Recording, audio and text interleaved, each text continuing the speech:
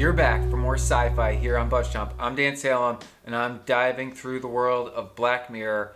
We're back in season four, episode four, Hang the DJ.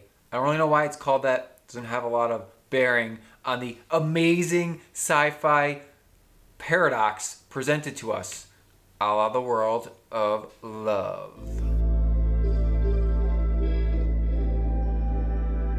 I'm Mandi. I'm Dan. Subscribe to Buzz Chomp. Woo! This episode of Black Mirror delves into what it means to be a perfect match and if a dating app could determine a perfect match for you and therefore you would give up your free will in pursuing those means, right? So, this is a dual layered episode, which I absolutely love. I love the paradoxical nature of what we're watching transposed with what it ends up being at the end of the episode.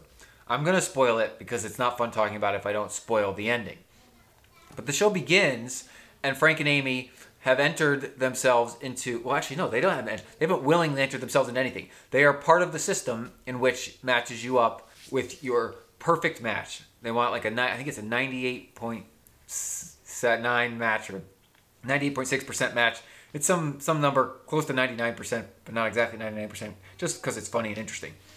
And so you're trying to find a perfect match. And the idea is you have to date people for, and, and at the beginning of the period of the dating, you're told how long that this relationship will last. And it has to last that long, and you live together with that person for that long. And in so doing, the algorithm and the AI learns how you deal with tough relationships, bad matches, perfect matches, all sex matches, and it learns you and what you like and so Frank and Amy are matched up for their first date, and then by the end, they are matched up again, and then they break out of the system together because they don't want to be matched and put with someone that aren't themselves. And the, the mind blowing part about all of this is that it's very kind of true to life, right? A lot of people may date someone or meet someone or know someone, but then they don't actually get together with them until later. Or you see the person that you want to be with and you latch on. Mandi and I, we met and we kind of knew we wanted to be together and that we weren't going to ever not be together, and here we are. We've been together forever. Frank and Amy met and they kind of just had that look in their eye like this was going to be forever, yet the system forced them to stop the relationship, date other people. Then they got to date themselves again. And then Frank messed it up because he looked at the time, but there shouldn't have been a time to look at. And then he didn't want it to end, so then they escaped, right? So here's the major part of the spoiler. They escape the system into a void in which a ton of other versions of Frank and Amy have also escaped the system. Superimpose that back out to the top level, and the actual dating app being used in real life to create your match ran these test cases to determine who Frank's perfect match and Amy's perfect match would be based on putting them into like based on all the people that signed up for the dating app running the numbers and having them date virtually in the system like we watched the whole episode. And then 98.6% of the time, Frank and Amy escaped the, the, the, the, uh, the system together, meaning they're a perfect match. And then Frank and Amy meet in real life at the end because they were matched by their dating app with a 98.6% accuracy based on all of the iterations the AI ran of them dating through the system and then all times ever escaping the system and breaking free to be together forever. So that's love. Frank and Amy wanted to be together so badly, 98.6% of the time, that they said F you to the whole world so that they could leave it together. And therefore, they were meant to be together, and so then they were matched at the end. I love this, I love this, I love this.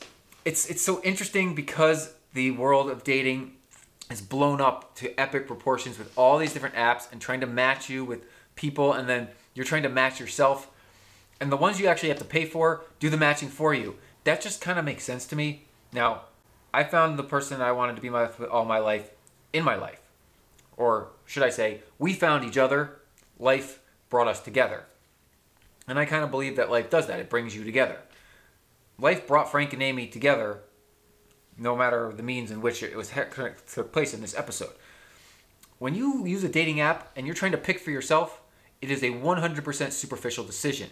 But if you let the system, the AI, determine for you based on what it knows about you, it will find a person that matches up with those things, whether or not you would have thought that person initially just by looking at a crappy photo and reading a BS description.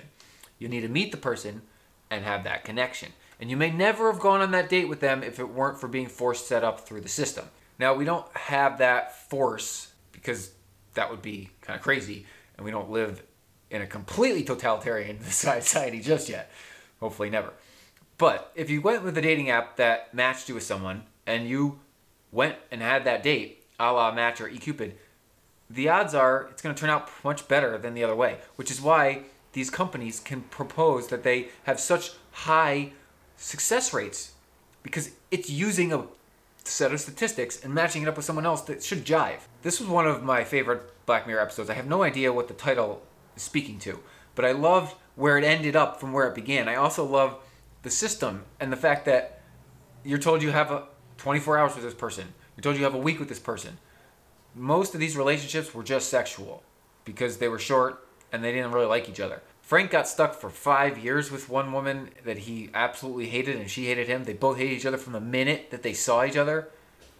That's just like people. I mean, people do it. That's the thing. This was so true to life that like people keep themselves in these awful relationships, and so then he was already forced to be into it. But at least he knew it was going to end at some point, and they couldn't have ended it fast enough. He ended up with his true love in the end, his perfect match. It's lo- it's lovely. Th- this is such subtle science fiction. It's not true fiction. It's not true science, which is why it's science fiction. But all of it kind of already exists. We already all do it on our own. Layering the show like this was wonderful. I've been picking and choosing Black Mirror episodes kind of boom, boom, boom at random. And this one just jumped out at me like an AI dating. This is pretty cool. It was way, way better. Sometimes the descriptions of these episodes don't do them justice, and this one was tremendous. I'm Dan Salem. Subscribe to the Buzz Chomp YouTube channel for more great science fiction, television, all year long. And comment below. Did you watch this episode? What do you think? I mean, are you online dating, and does this kind of speak to what you feel like or not? I have not. I've, I've had the pleasure of never having to go through that experience. Come back for more Buzz Chomp. Woo! Thanks for watching Buzz Chomp. Subscribe and share. Subscribe and share. Subscribe and share. Share. Woo!